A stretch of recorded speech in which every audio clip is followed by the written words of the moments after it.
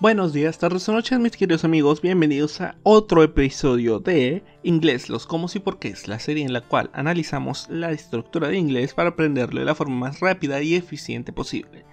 El día de hoy vamos a ver el presente perfecto y les tengo buenas noticias. Este va a ser el último tiempo que vamos a ver por un rato. Eso no quiere decir que ya no haya más tiempos, seguro que hay, pero con los tiempos que han acumulado hasta este momento, ya tienen suficiente para tener una comunicación fluida en el idioma inglés. Hay algunas cosas así un poquito más elevadas y que la verdad sí es importante que aprendan, pero no es lo más urgente. Por el momento, ya que tienen las bases suficientes, vamos a poder cubrir temas más amplios, vamos a hablar de cosas que no hemos hablado y que deberíamos hablar antes de que vayamos a esos tiempos, porque yo escucho sus quejas, no se preocupen, yo entiendo que los tiempos suelen ser un poquito frustrantes y los vemos todos de corrido así, pero por eso los hice a lo largo de nueve semanas. Este tema es un poquito complicadito. Generalmente este es el que más problema le da a los estudiantes que están empezando. Entonces, no se preocupen si no le entienden bien a la primera. Pueden verlo las veces que sea necesario. Pueden dejar sus preguntas en los comentarios. O pueden pedirme ayuda en la página de Patreon, ya hablaremos de eso al final del video. Por el momento, vamos a comenzar. ¿Qué hemos visto hasta ahora? Los temas que hemos visto cubren realmente todo el espectro de cómo funciona el tiempo. Ya hablamos de pasado, de presente, de futuro. Hablamos de imperativo, que no lo puse aquí porque no entiendo cómo encajarlo en una línea del tiempo. Con el imperativo no tiene tiempo, pero ya tenemos suficiente para comunicarnos y eso está excelente. Si han ido siguiendo la clase hasta ahora, entonces ya pueden expresarse de forma básica con algo de vocabulario que vayan adquiriendo. Realmente con que tengan un diccionario a la mano es suficiente para que puedan defenderse en una buena conversación en inglés. Todavía hay algunos detalles que vamos a ver. Los primeros van a empezar la próxima semana, pero nos falta un tiempo más. Y este es muy importante porque es un tiempo con potencial, que es algo que no hemos visto hasta ahora. Vamos a verlo en nuestra línea del tiempo. Aquí es donde encaja el presente perfecto. El nombre es confuso, lo sé. Si lo odian, los entiendo. Yo también lo odiaba cuando empecé. No sé realmente por qué un tiempo pasado tiene un nombre presente pero pues esas son las vueltas que da la vida. Estoy seguro que algún día lo investigaré y a lo mejor lo menciono en un video futuro. Cuando hablamos de presente perfecto estamos hablando de algo que ha sucedido en el pasado. Es decir, al igual que el pasado simple o el pasado continuo es algo que empezó y terminó. Pero, a diferencia del pasado simple, el pasado continuo y todos los otros tiempos que hemos visto, el presente perfecto se caracteriza porque es algo que podría suceder de nuevo en el futuro. Es decir, no estamos hablando solo de nuestro pasado, sino del futuro también. Es un tiempo con potencial. Estamos hablando de pasó tal cosa y podría volver a pasar. O si es negativo, no pasó tal cosa, pero algún día podría pasar. O si es una pregunta, ¿ya te pasó esto? ¿O todavía te va a pasar? Y esto puede ser un poquito confuso al principio, pero básicamente estamos hablando de un tiempo que no está completo en el pasado, sino que lo vamos a completar en algún momento del futuro. Y cuando lo completemos se va a convertir en pasado simple. Pero por ahora estamos esperando a ver ese potencial. Y puede que solo lo veamos hasta el día de nuestras muertes, pero no es el momento para ponernos filosóficos sobre lo que viene después de eso, porque para cuando salga este video, tristemente, probablemente la pandemia todavía sigue. Entonces, vamos a hablar de cosas más alegres. Por ejemplo, verbos regulares. Les tengo una excelente noticia con esto. Y es que, si ya se aprendieron la regla de los verbos regulares en pasado simple, felicidades. Ya se saben los verbos regulares en presente perfecto. Porque utilizan la misma forma. La terminación ed. Si se acuerdan, no necesito explicarles. Si no se acuerdan, ya se los expliqué. Vayan a ver el otro video, denme un poquito más de minutos para que YouTube empiece a pagarme, por favor. Se los ruego. Ahora nos vamos a enfocar un poquito más en los verbos irregulares. Que hay que memorizarlos. Otra vez. Sí, puedo sentir sus caras a través del tiempo y el espacio. Sé lo que están pensando y sé que están a punto de cerrar este video. Por favor, no lo cierren. No lo cierres. Anda, dame chance, te explico. Te prometo que no es tan difícil como parece. Los verbos que hemos visto hasta ahora han tenido dos formas. La forma en infinitivo, que es como viene en el diccionario, y la forma en pasado simple, que pues es la que usamos en pasado simple. Ahora vamos a ver una nueva forma, que es el pasado participio. Esta es la forma que vamos a utilizar para el presente perfecto. Es una forma verbal, no un tiempo. Que quede claro la distinción entre el pasado participio, que es una forma verbal, y el presente perfecto, que es un tiempo. Lo especial del pasado participio es que no solo funciona para el presente perfecto, sino que también funciona como adjetivo. Es decir, si van a describir algo usando un verbo, como por ejemplo cansado, revuelto, dormido, mm, escondido, amarillo. Amarillo no es un verbo, pero la idea es esa. Si van a describir algo usando un verbo, van a utilizar el pasado participio, porque ese va a ser su adjetivo.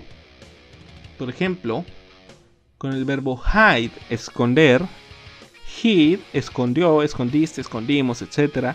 Pasado simple. Pasado participio es hidden, escondido. Por ejemplo, tenemos una película que salió el año pasado que es A Hidden Life, una vida escondida.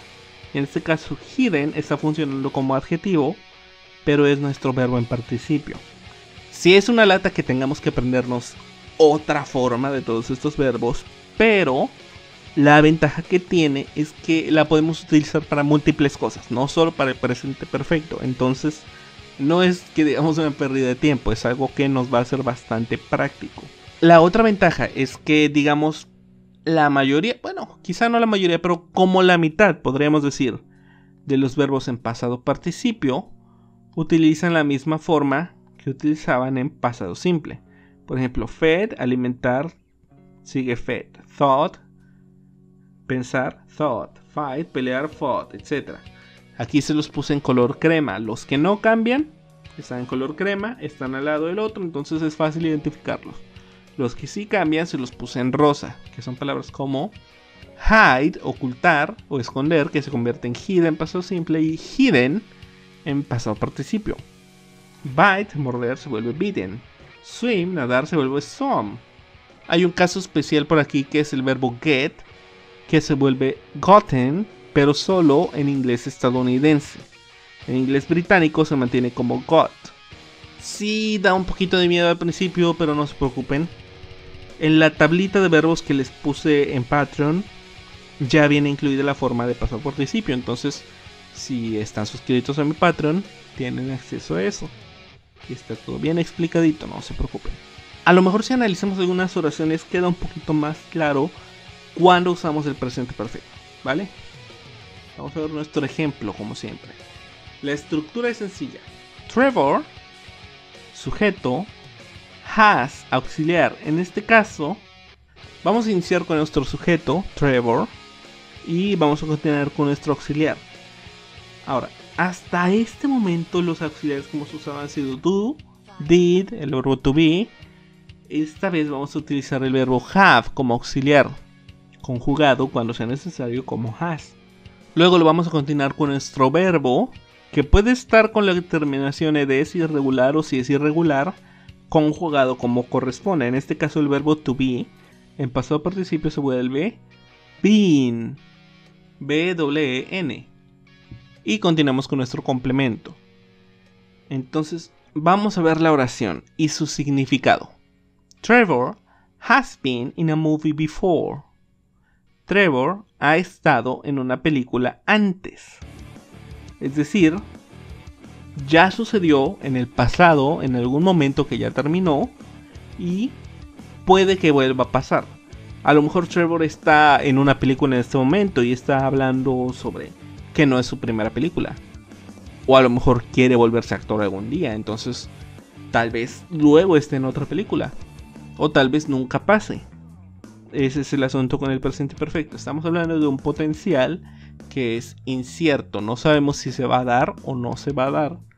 Pero sabemos que hay la posibilidad. No es como el pasado simple que lo hablamos cuando algo ya terminó, finito, para siempre. El presente perfecto lo usamos cuando tal vez se repita. Ahora vamos a ver las oraciones negativas y las preguntas, que ya sabemos cómo funcionan realmente, pero vamos a darles el repaso, nomás porque sí. Trevor, sujeto, hasn't, es decir, nuestro auxiliar, have o has, con la terminación not. Luego el verbo conjugado en pasado participio, been, y luego el complemento. Trevor hasn't been in a movie before. Ahora, aquí cambia un poquito nuestro significado, no es exactamente lo que dijimos antes, pero sigue siendo bastante relacionado. Trevor hasn't been in a movie before. Trevor no ha estado en una película antes. Es decir, en el pasado no sucedió, pero en el futuro puede que tal vez. O tal vez en este momento está sucediendo, tal vez Trevor está filmando la película mientras hablamos. Ahora vamos a ver la pregunta. Has, auxiliar, Trevor, sujeto, been, verbo conjugado, in a movie before. Has Trevor been in a movie before? ¿Ha estado Trevor en una película antes? Yo estoy preguntando porque no sé si Trevor ya estuvo alguna vez en una película, pero sé que hay la posibilidad de que en este momento lo esté o que en el futuro lo vaya a estar. Trevor tiene el potencial de aparecer en una película, incluso si a mí no me es seguro si ya pasó o no. Entonces vamos a ver algunos ejemplos para que nos quede un poquito más claro. Por ejemplo, I've watched that show from the first episode. He visto este show desde el primer episodio. Es decir, comencé en el pasado el primer episodio y lo he visto hasta el punto en el que se encuentra ahora y puede que lo vaya a continuar viendo. We have not thought of a plan yet. No hemos pensado en un plan aún. Es decir, en el pasado no lo hicimos, en el presente no lo estamos haciendo, en el futuro podríamos pensar un plan. Has she flown a plane before? Ella ha volado un avión antes. Es decir, a mí no me consta, no sé si es Amelia Earhart o si es simplemente una persona que decidió subirse a un avión, pero me parece que puede pasar en algún momento del futuro, por eso estoy preguntando. Y la respuesta, como siempre, es utilizando el auxiliar. Yes, she has o no, she hasn't. Espero que con estos ejemplos haya quedado bien claro porque el ejercicio de esta semana es doble. Primero, Quiero que escriban sus propias oraciones utilizando el presente perfecto, para que nos quede bien definido y que entiendan bien exactamente cuándo lo utilizamos. Y segundo, que hagan un texto utilizando todo lo que han aprendido hasta ahora. Es decir, todos los presentes, todos los pasados, todos los futuros. Porque una vez que hagan esto ya podrán comunicarse en inglés semifluido, no perfecto, pero suficiente para que puedan platicar con alguien teniendo el vocabulario y de ese vocabulario vamos a comenzar a hablar en la próxima clase. Vamos a empezar a ver algunas partes de la oración que utilizamos en el complemento, que es algo a lo que no le hemos puesto mucha atención hasta ahora, entonces no se preocupen, yo sé que se ve un poquito ignorado hasta ahorita, pero sí lo vamos a cubrir. Si les gustó o les sirvió este video, les invito a que me apoyen en patreon.com para producir más de estos videos y para que obtengan algunas recompensas. Pueden encontrar sus nombres escritos en los créditos de estos videos así como también pueden tener acceso a material de estudio exclusivo que le proveo solamente a los estudiantes de Patreon.